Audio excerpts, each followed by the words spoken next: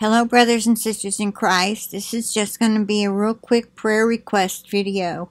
I just found out on Facebook that my good friend Rosie, that lives out in Glendale, had she everybody in her family has pneumonia, and she cannot go to the hospital to see her grandson who is very sick because he's not responding to the medications. That's wow. This little guy, I don't know if he still does this, but when he was four, five, six years old, he liked to pretend he was a preacher. I mean, he preached like the preacher and it was so cute. The few, you know, she could get a little bit of it on her phone, you know, and put it up here on Facebook and tell me about it and things like that. And I just thought, that is so precious. Anyway, um, he's probably eight now, I think. She just said, please pray for Matthew. He is still in the hospital. He just isn't responding to medications. He is so sick. My poor boy. I at least get to FaceTime him, but it's not the same as having him.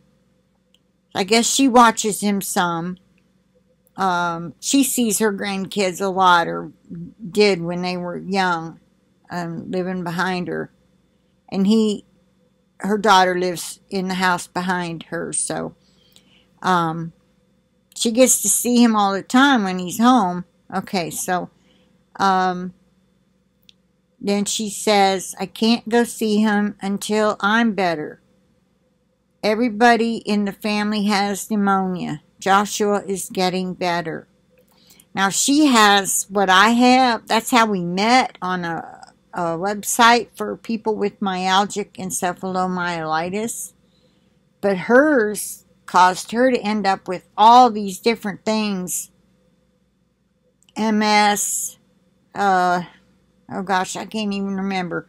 But she's been doing this diet, this special, very expensive um, superfood smoothie every morning thing. And it is it was it was healing her and she was getting better until here lately. So um, you can have uh, immune system problems with this now, there for a while, when I was in college, I went back to college to try to become something else because I couldn't be a nurse. I would catch everything that went around. I stayed sick that one year, or maybe two, at least every fall and winter. But then I got where I don't catch anything. I mean, these people around here can well, most of the time when you get the flu, they end up in the hospital. So, and I don't get around them. So I don't go on the third floor. So that's probably why I don't get it. I don't get the flu shot either. And I don't get the flu. How about that? So anyway, please pray for Rosie, her grandson, Matthew, and the whole family because they all have pneumonia and they need our prayers, especially Matthew, since he is not responding to meds. Okay, I'll plead the blood of Jesus over this video and the internet connection and my computer and over each and every one of you and all of your devices and our connect and your internet connections so we can stay connected until we're out of here. Oh, I hope it's soon.